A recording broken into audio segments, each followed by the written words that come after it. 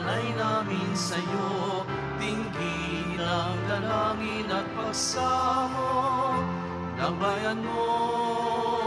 Viva pong Jesus Nazareno.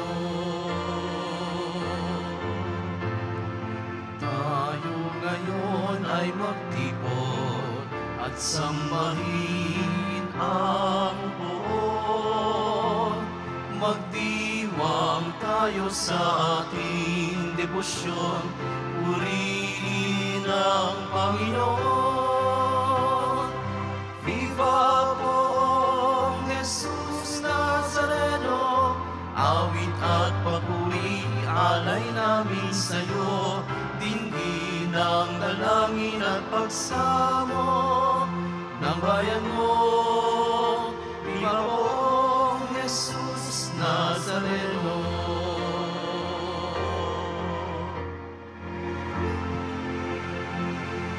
Sa ngala ng Ama at ng Anak at ng Espiritu Santo, Amen. ang pagpapala ng ating Panginoong Heso Kristo, ang pag-ibig ng Diyos Ama, at ang pakikipagkaisa ng Espiritu Santo, naway sumainyong lahat. At sumaiyo rin. Mga kapatid, tinipon tayo bilang kaanib na angkan ng Diyos, kaya dumulog tayo sa maawaing Panginoong nagpapatawad ng lubos. Sinugong tagapagpagaling sa mga nagsisisi, Panginoon, kaawaan mo kami. Panginoon, kaawaan mo kami. Dumating na tagapag-anyaya mga makasalanan ay magsisi, Kristo, kaawaan mo kami. Kristo, kaawaan mo kami. Nakaluklok ka sa kanan ng Diyos Ama para ipamagitan kami. Panginoon, kaawaan mo kami. Panginoon, kaawaan mo kami. Kaawaan tayo na makapangyarihang Diyos, patawarin tayo sa ating mga kasalanan at patnubayan tayo sa buhay na walang hanggan. Amen. Manalangin tayo. Ama naming makapangyarihan, kaming mga tinubos mo at kinupkop, ay tunghayan mo ngayon sa iyong kagandahang loob upang sa pagsampalataya sa anak mong si Kristo, makamta ng kalayaan at pamana sa piling mo sa pamamagitan niya kasama ng Espiritu Santo magpasawalang hanggan. Amen. Pagbasa mula sa sulat ni Apostol San Pablo sa mga taga-Kolosas. Mga kapatid, kayo'y hinirang ng Diyos. Itinalaga para sa Kanya at minamahal niya. Kaya't dapat kayong maging mahabagin, maganda ang kalooban, mapagkumbaba, mabait at matiisin. Magpaumanhinan kayo at magpatawaran kung may hinanakit kayo sa isa't isa. Pinatawad kayo ng Panginoon, kaya't magpatawad din kayo. At higit sa lahat, mag-ibigan kayo, pagkat ito ang buklod ng ganap na pagkakaisa. At paghariin ninyo sa inyong puso ang kapayapaang kaloob ni Kristo, sapagkat ito ang dahilan kaya kayo tinawag upang maging bahagi ng isang katawan. Magpasalamat kayong lagi. Ang mga salita ni Kristo ay itin, itanim ninyong mabuti sa inyong isip. Magpaalalahanan kayo at magturuan ng buong kaalaman. Umawit kayo ng mga salmo, mga imno, at mga awiting espiritual na may pagpapasalamat sa Diyos. At anuman ang gagawin ninyo, maging sa salita o sa gawa, gawin ninyong lahat sa pangalan ng Panginoong Hesus. At sa pamamagitan niya'y magpasalamat kayo sa Diyos Ama. Ang salita ng Diyos. Salamat sa Diyos. Kayong lahat na may buhay, papurihan ang may kapal. Kayong lahat na may buhay, papurihan ang may kapal. Sa banal na templo, ang Diyos ay awitan. Purihin sa langit ang lakas na taglay. Siya ay purihin sa kanyang ginawa. Siya ay purihin sapagkat dakila. Kayong lahat na may buhay, papurihan ang may kapal. Purihin sa tugtog ng mga trumpeta, awitan sa saliw ng alpa at lira. Sa tugtog ng tambol, magsayaw, purihin. Mga alpa at plauta, lahat ay tugtugin. Kayong lahat na may buhay, papurihan ang may kapal. Ang Diyos ay purihin sa tugtog ng pompyang. Sa lakas ng tugtog, siya'y papurihan. Purihin ang puon ng mga nilalang. Kayong lahat na may buhay, papurihan ang may kapal.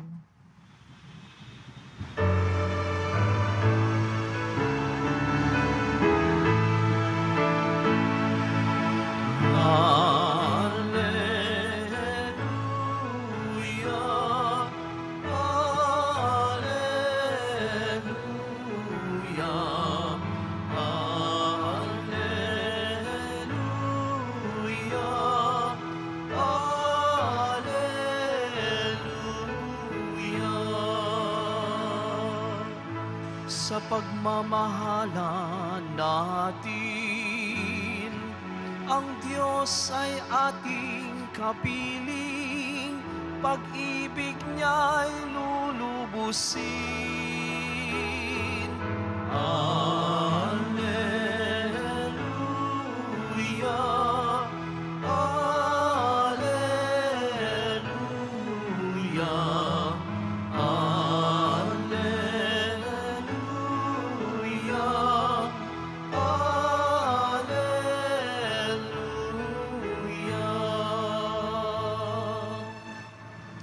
Sumainyo ang Panginoon. At sumaiyo rin. Ang mabuting balita ng Panginoon ayon kay San Lucas. Papuri sa iyo, Panginoon.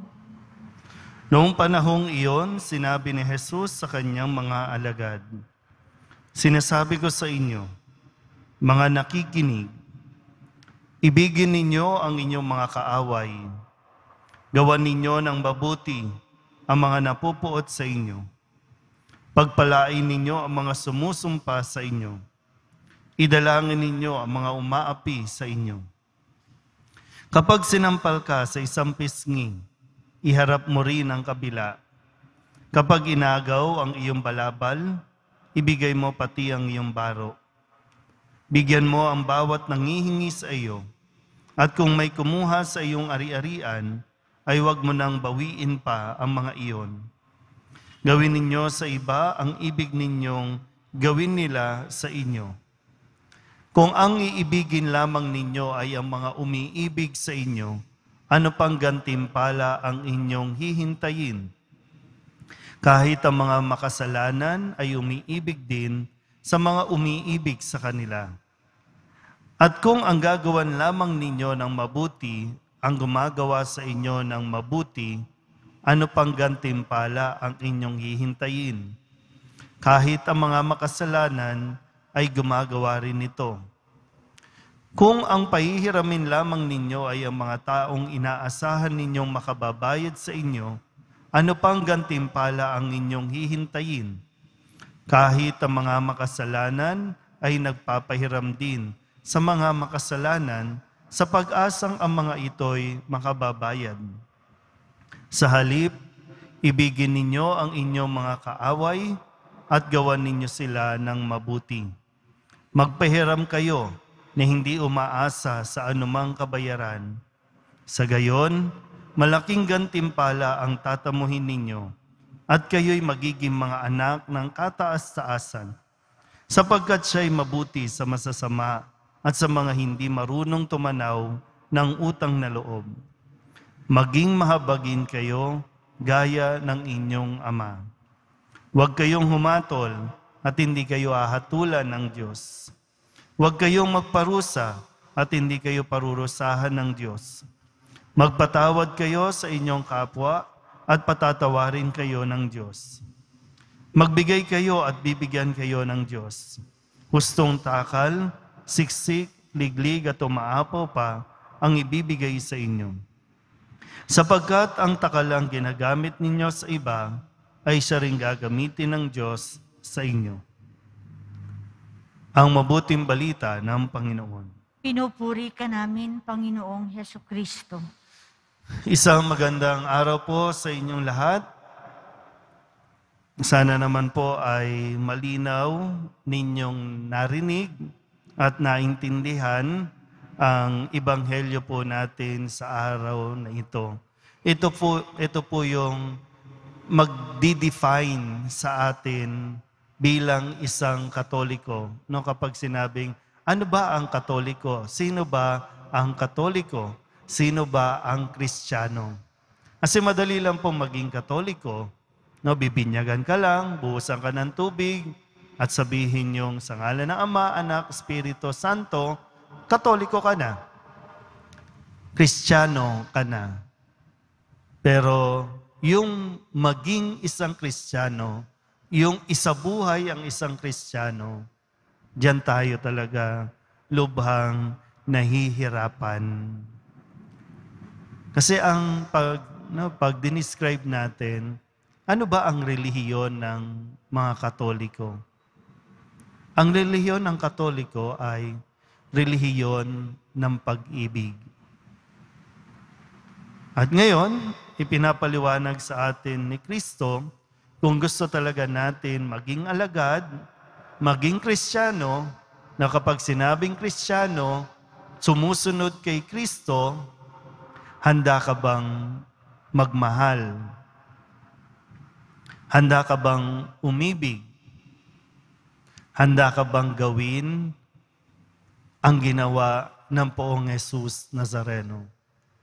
Sa totoo lang po, no, itong ibanghelyo natin ngayon, kagabi ko pa po ito pinagninilayan o kahapon pa, sadyang no, real talk lang din, sabi ko, ang hirap naman ito, Lord, no? Ang hirap eh. Talagang, nitong nakalipas na araw, halos, no, nanggigigil din ako eh. Naiinis, hindi ko rin napigilan, mainis, no, sa mga ah, ginagawa sa atin, no, kung paano i-handle ng gobyerno. Pero, ito nga po, no, sa- sadyang ang Diyos ay laging naririyan para magpaalala sa atin. Lalo na po ako bilang isang pari, no, paalalahanan na hindi tayo pwedeng magpadala sa galit. Hindi tayo pwedeng magpadala sa ating damdamin na ipaglaban kung ano ang tama, kung ano ang nararapat sa atin. Sa pagninilay ko po sa ating ibanghelyo, ang panawagan sa atin ng poong Jesus Nazareno ay hindi yung mamuhay tayo sa kung ano ang tama, kundi mamuhay tayo sa kung ano ang mabuti. Hindi importante yung maging tama ka o kaya naman, wag nating piliin maging tama o maging tama lang. Ang piliin natin ay ang maging mabuti. Kasi po pwede po talaga, no? Tama lang naman, no, na kapag hindi nagbayad ang umutang sa iyo, tama lang, siraan mo siya. Singilin mo siya. Ang dami nag-aaway-away dahil eh, kailangan mo na ng pera. Eh, yung nangako sa iyo, umutang sa iyo, eh, ayaw magbayad. Tama lang. Sige, ka, para bang, eh, write mo yan. No? I-post mo sa social media, siraan mo. Tama yan. Pero mabuti ba yon? At nakakabuti ba yon? Ah, tama yan, no? Pinagpalit ka, di ba? Iniwan ka, pinagpalit ka. Tama yan, sige. Kasuhan mo. Tama yan. Pero pag nilayan natin, mabuti ba yun? Hmm. So ang pagiging kristyano ay hindi hindi yung kung ano ang tama, kundi kung ano ang mas mabuti na gawin. Kasi lahat naman ng ito, naranasan ito ng poong Jesus Nazareno. Yung, kaso, yung mismong suot nga niya, di ba, hinubad pa sa kanya. eh. Pero hinayaan niya. Nakaya niya. Hmm. Eh, pwedeng, di ba? Tama lang yan, no? Ah, Tanggapin mo yung pera na binigay sa iyo, na galing sa kung saan man. Tama lang yan. Pero mabuti ba yun? Minsan yung, yung mentality po natin, no? Siyempre, dapat na ah, lagi nasa tamang konteksto din tayo, no?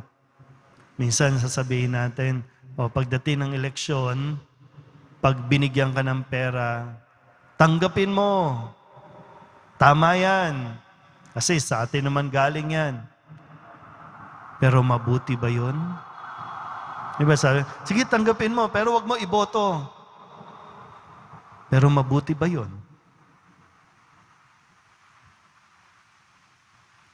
Hmm.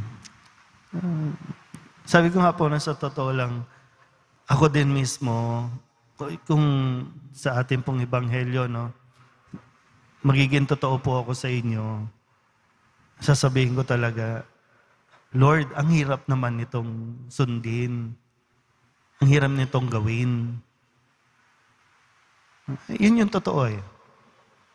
Pero, nananalig at nagtitiwala ang Diyos sa atin, nakakayanin natin ito.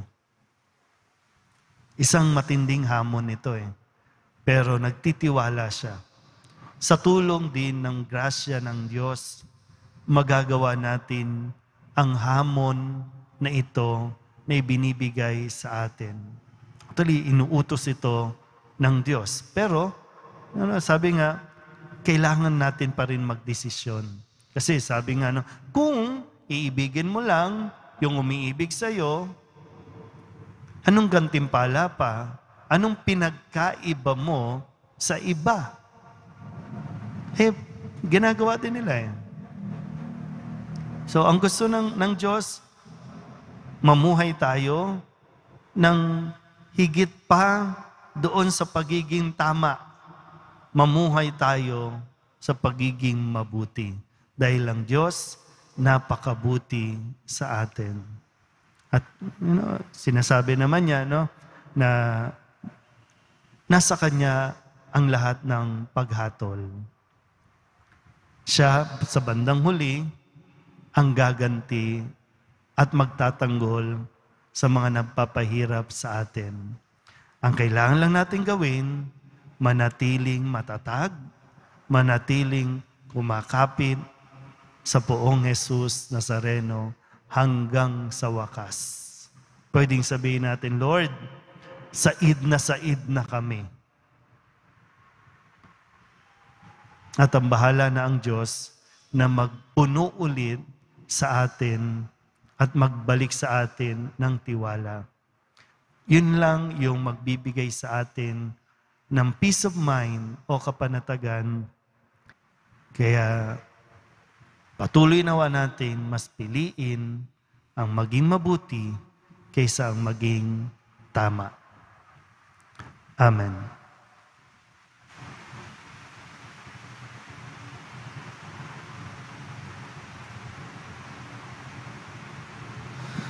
Minamahal ko mga kapatid, bumaling tayo sa Diyos Ama para sa tulong na ating kinakailangan upang sundin ang halimbawa ni Jesus na nagsasabing sa ating mahalin natin ang ating mga kaaway.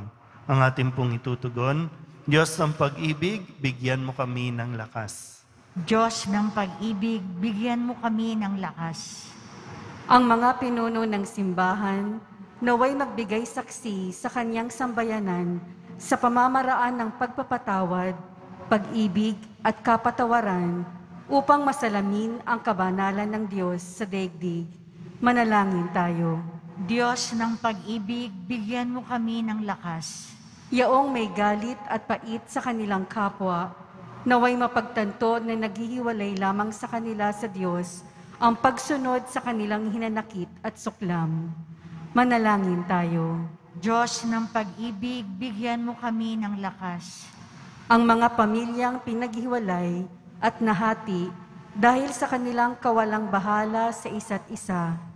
Naway mapanumbalik ang dating pagkakasundo at alab ng samahan. Manalangin tayo. Diyos ng pag-ibig, bigyan mo kami ng lakas.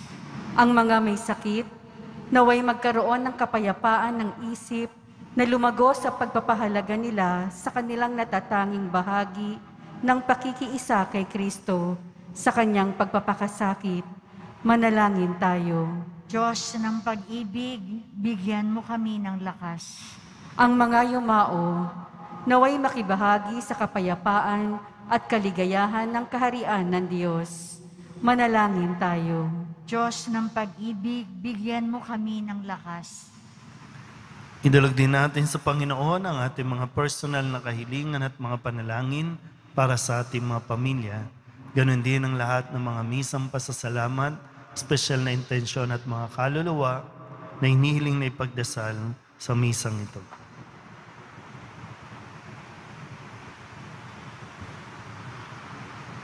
Ang lahat ng ito hinihiling namin sa ngalan ni Kristo, aming Panginoon. Amen.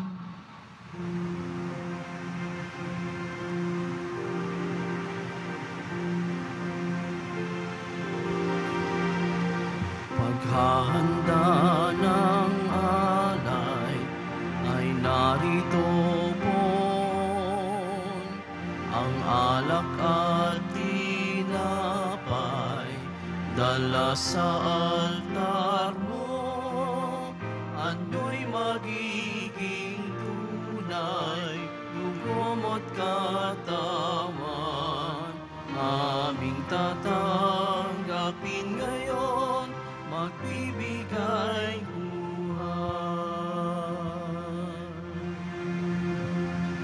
Manalangin kayo mga kapatid upang paghahain natin ng kalugdan ng Diyos sa mga makapangyarihan. Tanggapin nawa ng Panginoon itong paghahain sa iyong mga kamay, sa kapurihan niya at karangalan, sa ating kapakinabangan at sa buong sambayanan niyang banal. Ama naming lamika, ikaw ang gumagawa ng wagas sa katapatan at kapayapaan. Ipagkalob mo ang iyong kadakilaan ay aming handugan ng iyong minamarapat na aming maialay. At naway magkaisa kami sa pakikinabang sa banal na paghahaing ngayoy ipinagdiriwang sa pamamagitan ni Yesu Kristo kasama ng Espiritu Santo magpasawalang hanggan. Amen. Sumainyo ang Panginoon. At sumaiyo rin, Itaas sa Diyos ang inyong puso at diwa. itinaas na namin sa Panginoon. Pasalamatan natin ang Panginoong ating Diyos. Marapat na siya ay pasalamatan. Ama naming makapangyarihan, tunay ngang marapat na ikaw ay aming pasalamatan. Sa iyong paglingap at kagandahang loob, ang tao'y nilikha mo at pinangasiwa sa sansinukob. Sa hangad mong siya'y iwastong lubos, siya'y pinagdusa mo sa kanyang pagtalikod. Sa iyong paggiliw, iyong ipinahintulot na makabalik siya sa pamamagitan ni Kristo Jesus. Kaya kaysa ng mga anghel na nagsisiawit ng papuri sa iyo, nang walang humpay sa kalangitan, kami nagbubunyi sa iyong kadakilaan. Santo, Santo, Santo, Panginoong Diyos ng mga hukbo, napupuno ang langit at lupa ng kadakilaan mo, o sana sa kaitaasan. Pinagpala ang naparirito sa ngalan ng Panginoon, o sana sa kaitaasan. Ama naming banal, ikaw ang bukal ng tanang kabanalan. Kaya't sa pamamagitan ng iyong Espiritu, gawin mong banal ang kaloob na ito upang para sa aming maging katawan at dugo ng aming Panginoong Heso Kristo. Bago niya pinagtiis ang kusang loob na maging handog, inawakan niya ang tinapay, pinasalamatan kaniya, pinaghati-hati ni Ayon, iniabot sa kanyang mga alagad at sinabi, Tanggapin ninyong lahat ito at kanin, ito ang aking katawan na iahandog para sa inyo.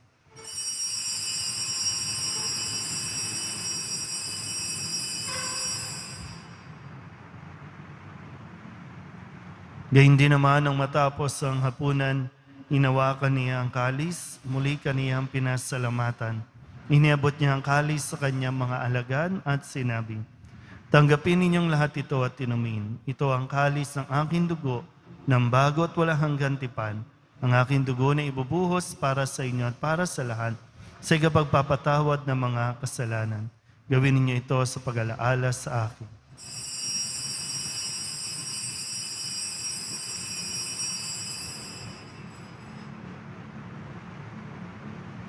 Ipagbunyi natin ang misteryo ng pananampalataya. Si Kristo'y namatay, si Kristo'y nabuhay, si Kristo'y babalik sa wakas ng panahon. Ama, ginagawa namin ngayon ang pag-alaala sa pagkamatay at muling pagkabuhay ng iyong anak, kaya tiniaalay namin sa iyo ang tinapay na nagbibigay buhay at ang kalis na nagkakaloob ng kaligtasan. Kami napapasalamat dahil kami iyong minarapan na tumayo sa harap mo para maglingkod sa iyo. Isinasama namin kami magsasalo-salo sa katawan at tugo ni Kristo ay mabuklod sa pagkakaisa sa pamamagitan ng Espiritu Santo. Ama, lingapin mo ang iyong simbahang laganap sa buong daigdig. Puspusin mo kami sa pag-ibig kaysa ni Francisco na aming Papa at ni Jose na aming Obispo at ng Tanang Kaparian. Alalahanin mo rin ang mga kapatid naming nahimlay na may pag-asang sila'y muling mabubuhay, gayon din ang lahat ng mga pumanaw. Kawaan mo sila at patuloyin sa iyong kaliwanagan. Kawaan mo at pagindapating kaming lahat na makasalo sa iyong buhay na walang wakas. Kaysa ng mahal na Birheng Maria na ina ng Diyos, ng kabiyak ng puso niyang sa San Jose, kaysa ng mga apostol at ng lahat ng mga banal na namuhay dito sa daigdig ng kalugod-lugod sa iyo, may pagdiwang nawa namin ng papupuri sa ikararangal mo sa pamamagitan ng iyong anak na aming Panginoong Heso Kristo. Sa pamamagitan ni Kristo, kasama niya sa Kanya, ang lahat ng parangal at papuri ay sa iyo, Diyos amang makapangyarihan, kasama ng Espiritu Santo, magpasawalang hanggan.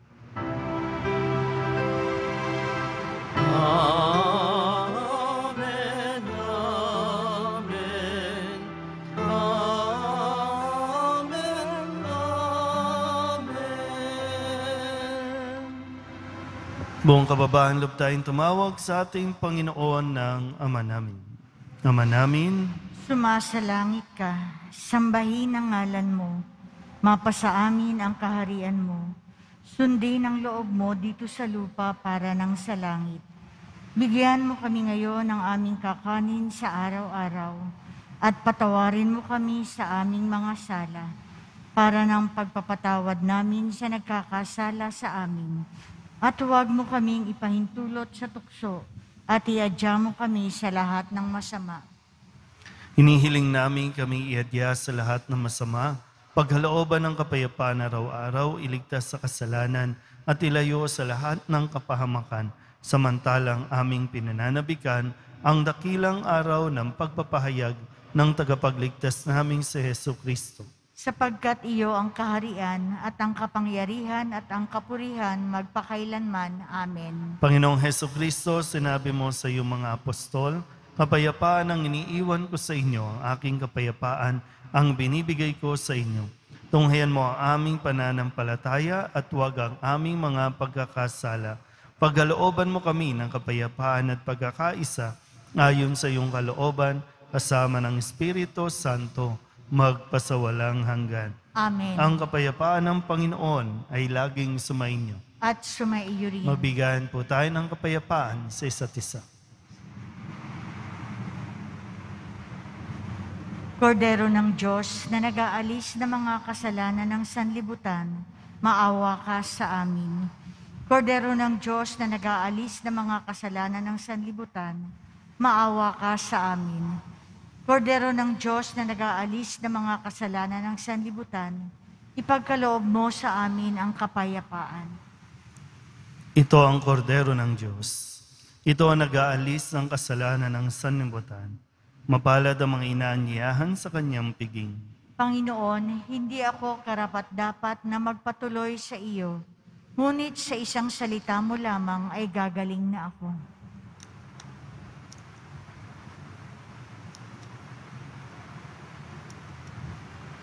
Katawan ni Kristo, Amen.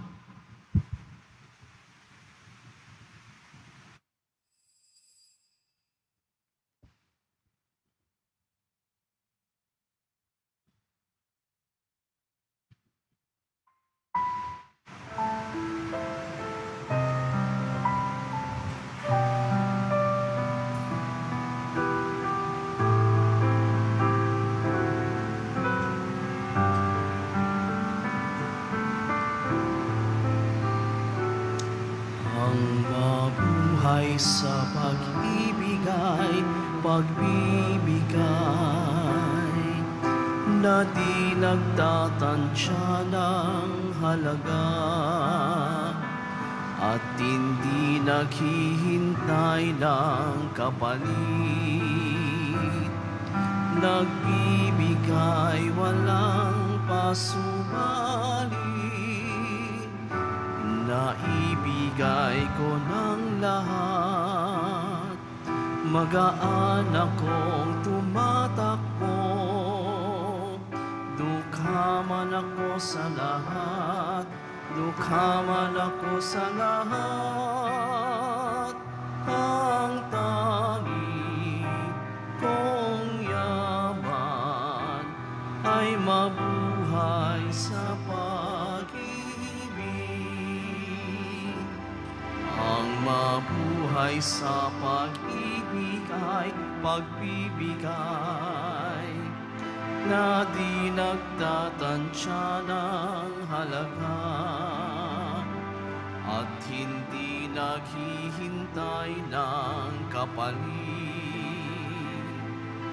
Pagbibigay walang pasubalit Naibigay ko ng lahat Magaan akong tumatakbo. Dukha man ako sa lahat Dukha man ako sa lahat. Ang tagi kong yaman Ay mabuhay sa pag-ibig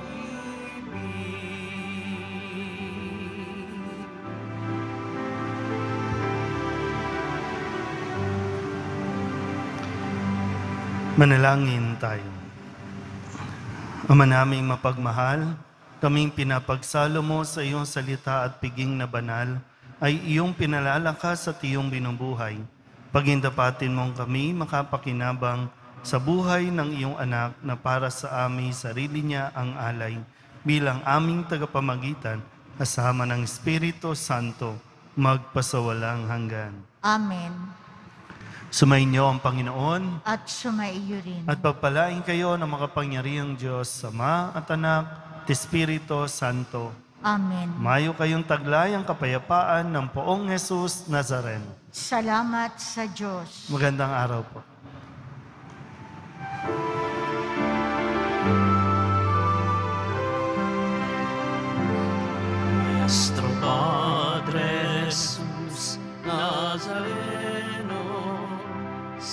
Sinasamba ka namin.